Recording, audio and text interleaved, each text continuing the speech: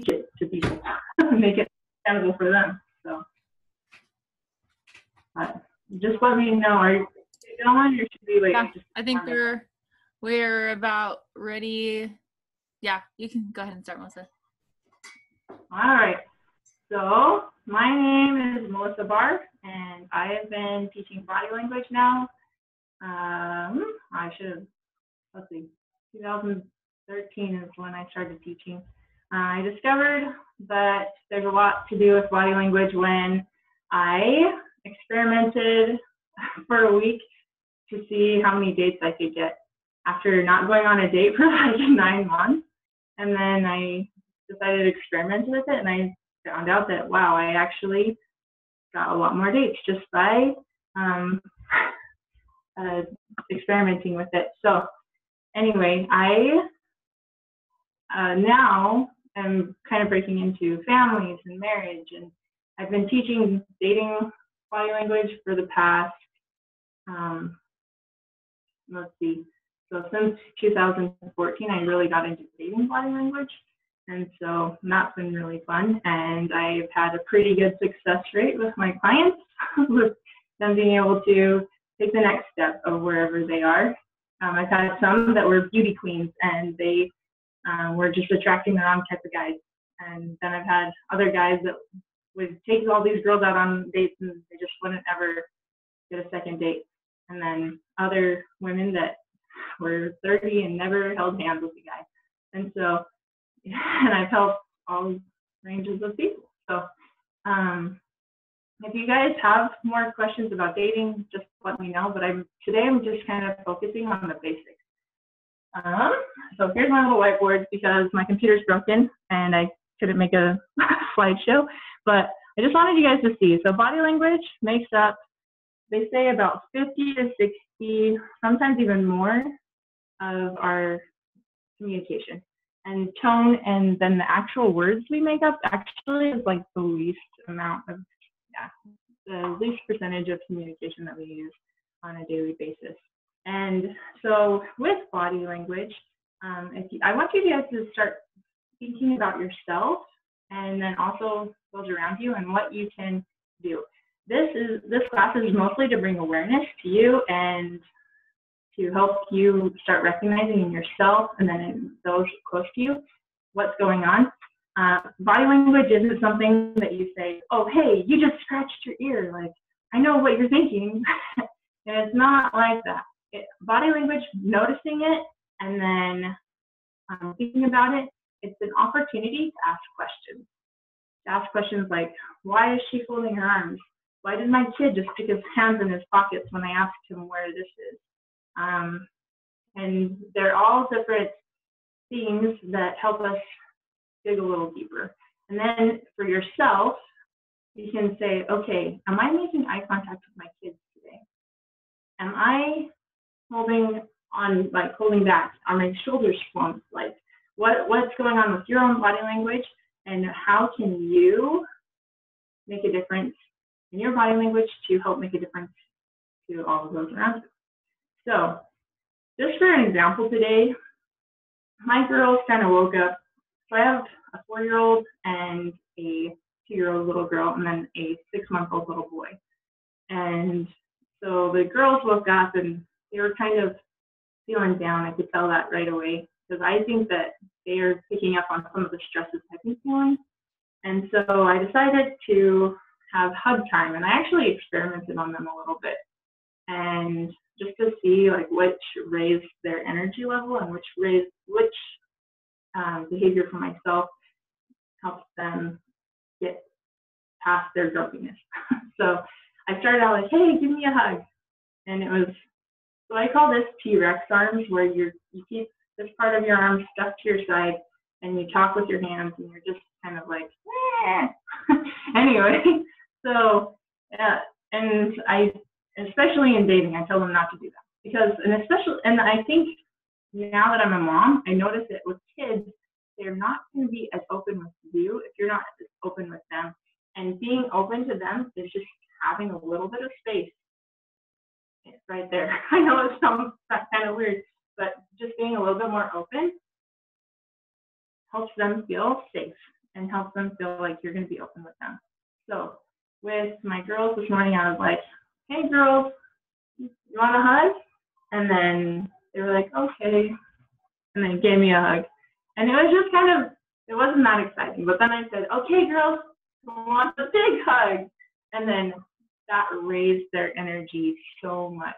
And it raised the energy in our home, it raised the energy in our relationship, and it helps everyone in our home just feel that much better. so I recommend um, paying attention to where what you're doing. Are your arms tucked in all the time? Are you closed off when you're talking to your kids? Um, and ask yourself, maybe you're folding your arms because you're cold. Um, maybe you're not trying to be closed off, but maybe you are. Um, ask yourself, why am I doing this? Why are my arms folded all the time when I'm talking to people? And what would happen if I just raised my arms, put my arms out a little bit more when I talk to people and see what happens. And then um, another big thing, so I'm going to give you guys a tool to do at home. So we talked about arms. If you have them open a little bit more, and with women, it actually helps if you slow down your movement and make it a little bit more flowy. That raises your feminine energy and helps people trust your feminine instincts. Um, but if you're if you're a woman and you're just like, hey, let's go, let's go, let's go, and like really crazy with your arms, it actually um, creates a more masculine energy within you, and people will start to treat you more manly. That's something good to know about that. And then um, with your children, make sure you're open. Make sure your shoulders are back when you're talking to them.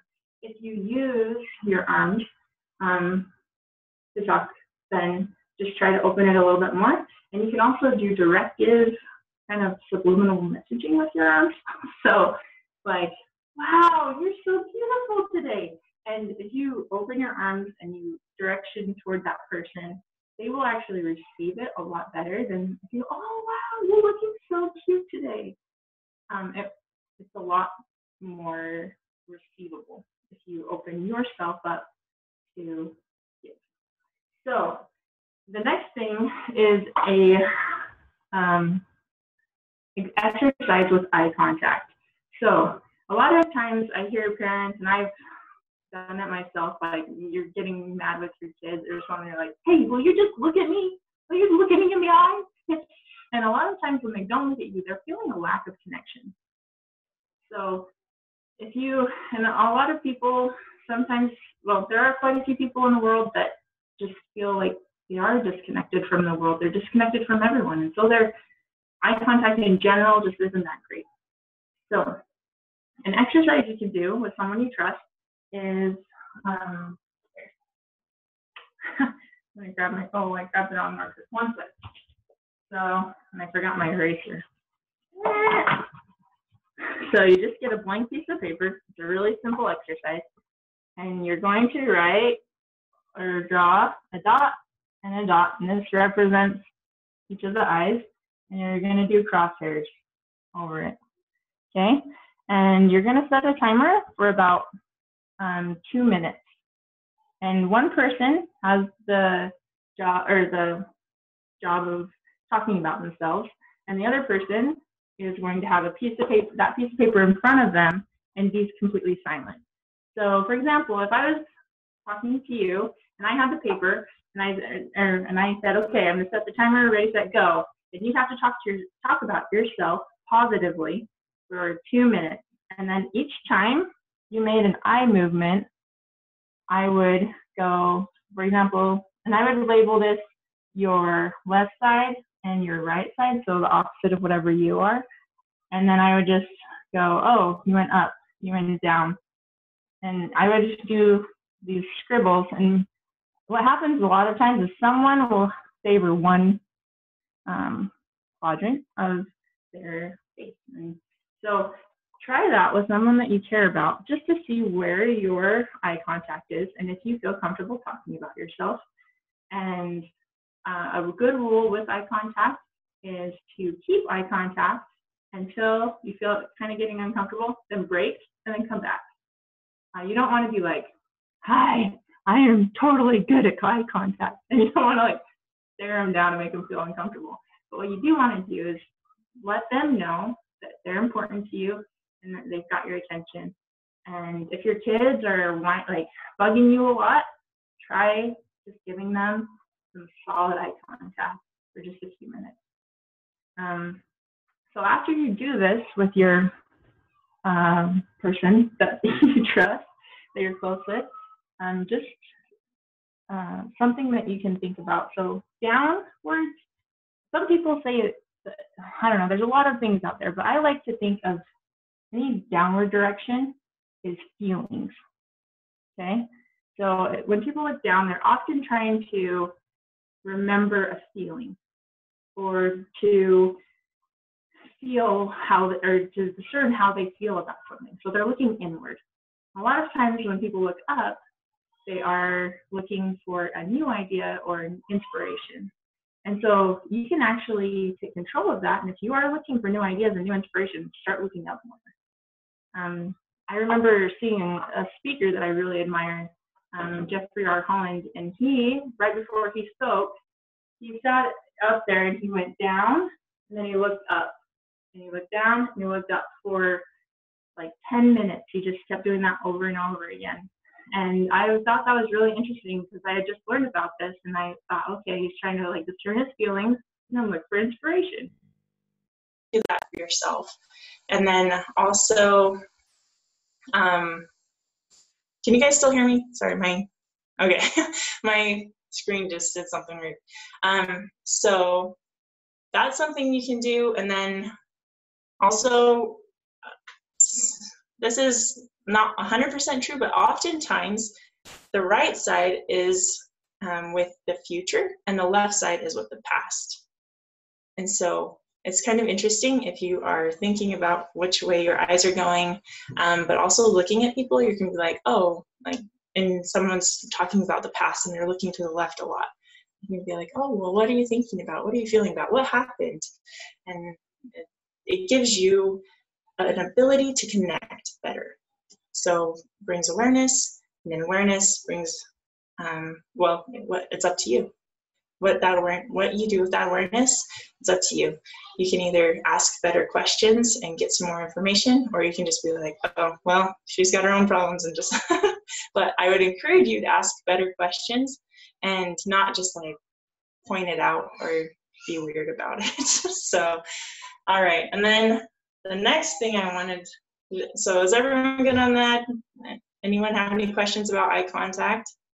Um, so that's just a simple exercise. I encourage you all to try it. Um, if you have any questions, just let me know. This and then so cool, Melissa. I'm loving this. okay, awesome. so cool. So you said up means inspiration. So when Jeffrey Holland was looking up, he was just like, okay, inspiration, and okay. And then looking down, feelings, discerning, figuring out how you feel. Cool. It was so fun. yeah, if any of y'all have uh, questions, just let me know. Um, so, and then the next thing I've felt guided to talk about is your children and teenagers and those around you. Um, I want you guys to think about what kind of body language or body like or physical contact they are missing out on right now because they're not at school and make sure you are giving those hugs, giving those that eye contact, giving that attention somehow because um, a lot of youth right now, and I think a lot of teenagers and young people in general, their reality sometimes is hard like to discern their reality from the future and so they feel like their their current reality is their future. And so they get can get depressed they can get really anxious. So take a minute to try to connect with them and i'm going to teach you one of the best hugs. So they tell you or some experts say that the best hugs are eight seconds long. And i'm going to give you a tip. So as you're hugging someone breathe deep. Breathe deep to, into those hugs. Because when they feel you move, it activates something inside of them and lets them know that, like, they want like you are willing to absorb them in some way. And if you are single it's a really great hug to get someone interested anyway. Um, so give a hug breathe deep. If you can eight second hugs. I really encourage that. And it, so eight second hugs eight times a day for your kids. And that and if you have two kids that means 16 hugs for you. So That's a lot of hugging. I am so not a hugger, so that might be good for me.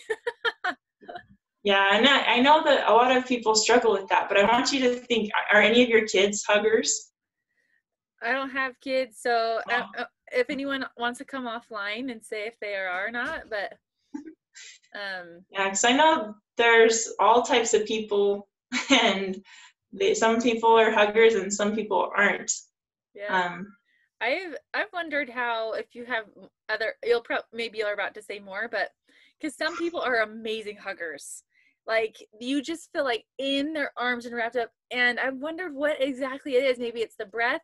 Sometimes like your clavicle pokes into them, or like I wonder if a skinny person can give a really good hug. If it's a matter of concaving yourself a little bit right there, or you know, like yeah, any more tips so I can be a better hugger. Yeah, I think a lot of it is what are your thoughts around hugs? And I was actually, that actually leads right into my next area of your body language comes out, um, whatever body language you have, it's evidence of what's going on in your brain. So if you are sitting there and talking to your kids and you're like, you know what, like this, this, this, and you're doing this action, I want you guys just raise your hand or hit the raise your hand thing if you guys think this is a negative body language move. and so this sometimes we um, can start doing negative body language moves, pushing away, chopping. You, I did this, and you poking, and um, there's a lot of negative body language moves out there and make sure like you could say okay you guys you need to get to bed right now. And if you think of that like a lot of times kids will interpret that like you're trying to push them down. And you're trying to make them submit. And when you add negative body language moves it's going to either like make them feel oppressed like you're the dictator or they're going to feel like uh, rebellion. so it's not going to help you. And so pay attention to your own body language moves. Um, especially like I've seen women say like, you know what, like I love going on dates. Dating is so much fun. And then I'm like, oh, who do you want to punch? and so, and it's really funny. And you have to, but not funny because I'm like, oh, you've got a lot of issues, huh? But it's interesting because I can ask more questions and like, well, what do you like about dating? What do you not like about dating? Or, and then you can talk to your kids and see, and if they stick their hands in their pockets, like ask some more questions. It, any one body language move doesn't mean one thing. It can mean a myriad of things. Um, but ask the questions to find out what's going on, and it's going to be really helpful for you. So, um, okay, your thoughts. It's really important to start an awareness of your negative and positive thoughts. And sometimes, like, I'm just going to teach you one tool. Some, so, um, when you have negative thoughts, usually they create a spiral of neg- negative thoughts and you just kind of spiral down. And if you are in that spiral and you just can't break it, take three minutes, go write it out, and then rip it up.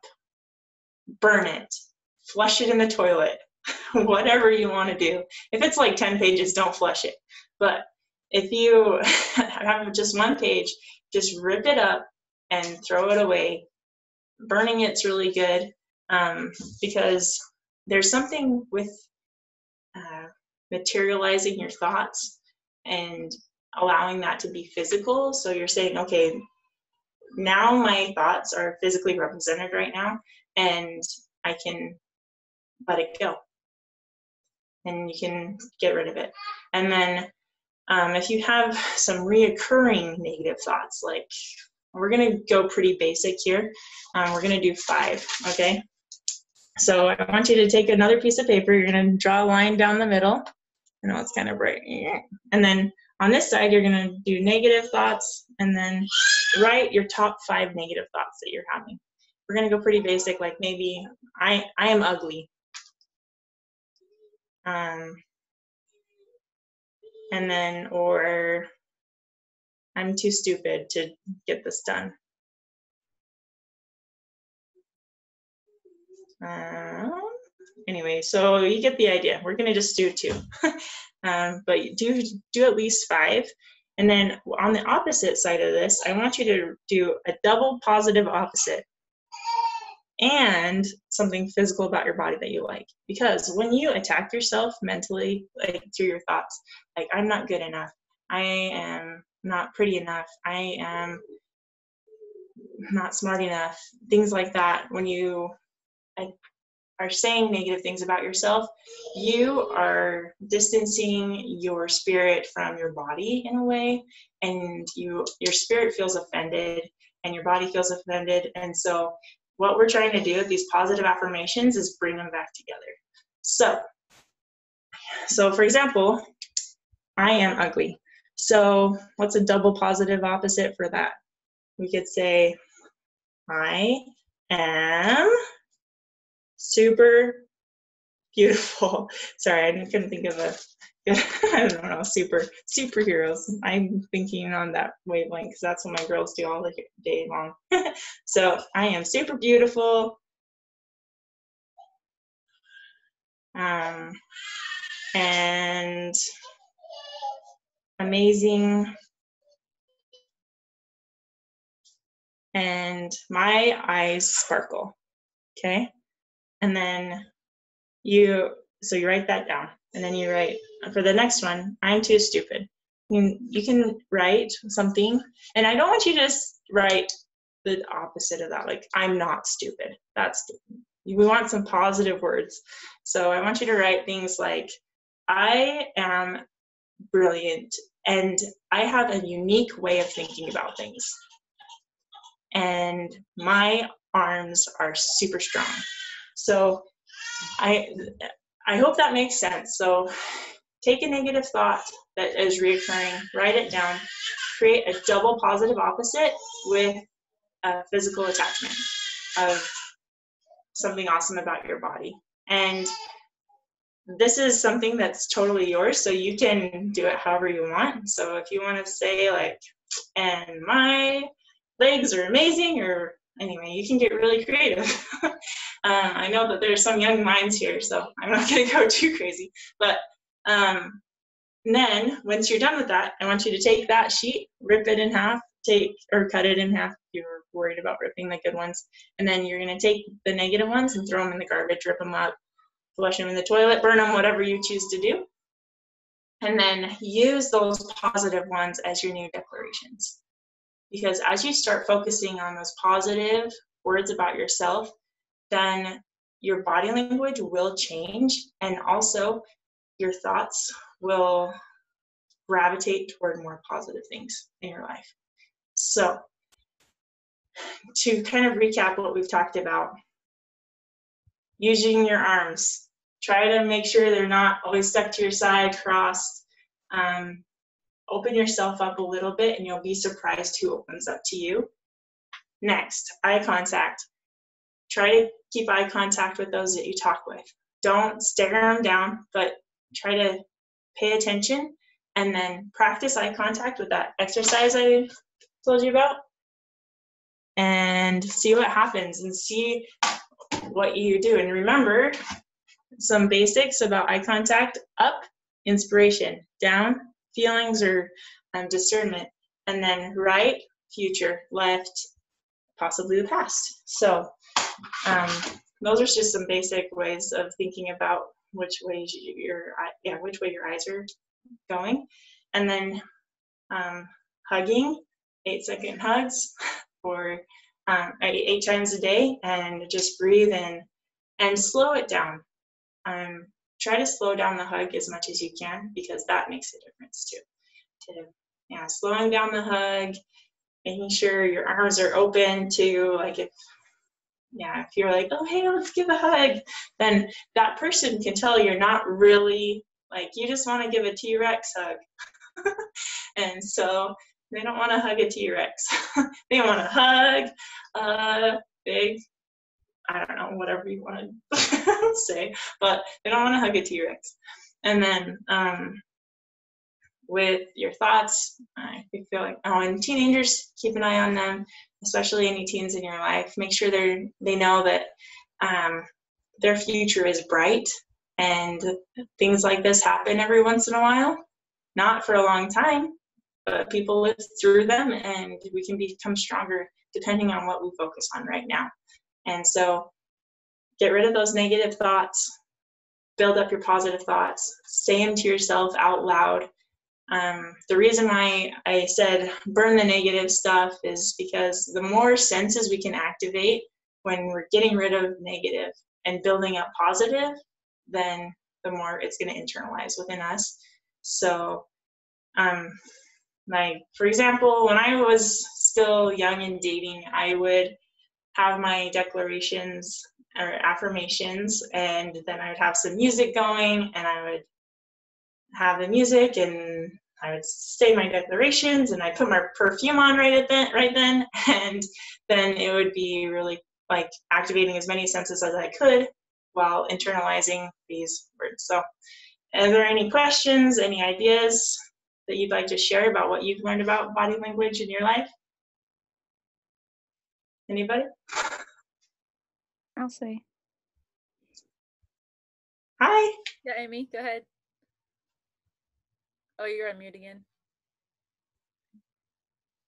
Okay, go again. Okay. Go ahead. So what does it what does it mean if a person has terrible eye contact? What what does that like indicate? So that's where this class right now, like my main purpose is teaching you body language so you can raise your awareness. So okay. you're like, okay, she doesn't, he or she doesn't have great eye contact. Ask some questions, and mm-hmm. then a lot of times it's because they feel like they're not worthy of connection. A lot of times, or they don't, or a connection makes them feel uncomfortable. So it could be a lot of different reasons. Like I've worked with people that just didn't have the ability to keep eye contact for more than like half a second. Yeah. And then after working with them, they put that intention of creating eye contact and opening themselves up. And a lot of times it was self-esteem issues, but that's it's totally individual too. Like you have to ask questions and find out what's going on. It might be trauma, it might be hurt, it might be self-esteem. Yeah, you have to find out. So, any okay. other questions? But I, yeah, if I were you and you have someone that you care about and love, just try well, to. Uh, my son, he's on the autism spectrum, and it's a real struggle for like every time he talks, I have to tell him, "Look at me," you know, and um, and I don't want to make it uncomfortable for him because I know he just does it, but I also want to teach him that when you speak to somebody, it's good if you look at them, you know, and not just you're talking, but he might just be looking off anywhere. Like it's almost like he's gathering his thoughts and he's like just focused on trying to think of what yeah. he's gonna, you know, and, and so. And that might be it. Like he might, and you say that he's on the autism spectrum, and that might be his thing is it takes a little bit longer to gather his thoughts and so it's hard to keep that eye contact and just like we talked about with eye contact move, when you move your eyes, you are, it's almost like you're retrieving things from your brain when you move your yeah. eyes in this direction. So, but I think people don't understand it, and so they'll interpret it him as being rude or, um, yeah. and you know. And you can. I would just defend him if you think he was being rude. Then you can call him out on it. Don't but, say, but you just but, know that. But if people do this, that, and you can just say, you know what, he he's doing his best, and he's just thinking hard about how to respond to you.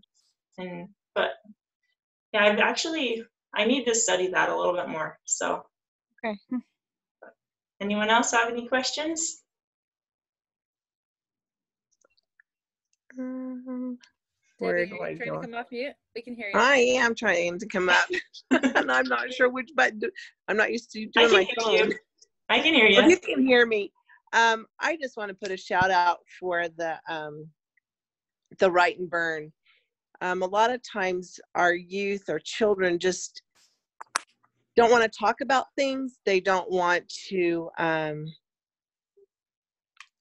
uh, they, they just don't want to use the words verbally, but they have so much pent up in them that they need an, a, a way to get rid of all the yuck inside of their head and in their heart sometimes. And we actually got a number 10 can and that's what we, and we put holes in the bottom and they could write, they could, and then they go shred up the paper and burn it. And when they walked away, they just were like, whew, okay, I feel so much better.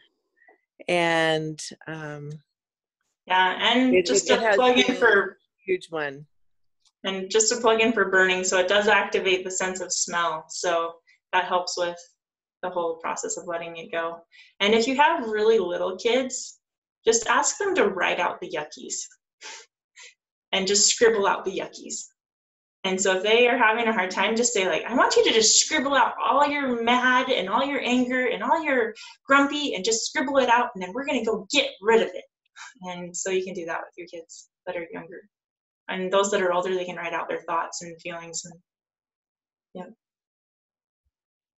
and i would also when you are doing the write and burn i would just if you are going to just do one sheet i would just start out with like i feel this emotion um, because so for example i feel anger because and i would just write it out and and then write as much as you can and then i would start it over again i feel anger because and da da da da I feel anger because, and then go until you feel like you've gotten it all, and then go torch it. So yeah, I'm going to add something, you know, like with little kids, even sometimes as teenagers, they may not be able to put it in words.